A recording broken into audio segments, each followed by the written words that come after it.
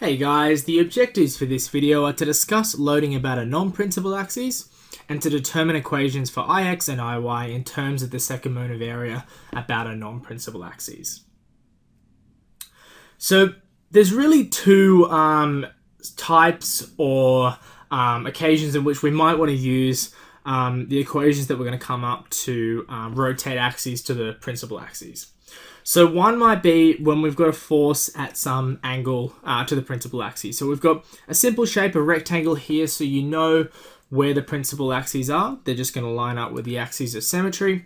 But your loading is in a way that you're going to have some component uh, affecting um, both of your second areas about both the y and the x um, axis. So you would need um, to solve for the second area about the local axes and then try and convert that um, into the principal um, axes.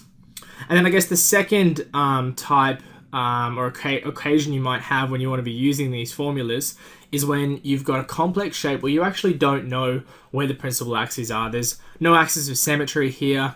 And so we're not actually sure um, at the moment where the uh, principal axes are, and therefore we'd need to work out um, where they were. And we'd first probably work out the second moment of area about um, the local axes and then convert that into the second moment of area about your principal axes.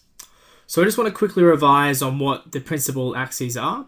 So they're always located um, at the centroid, so they're centroidal axes, and they're orientated in such a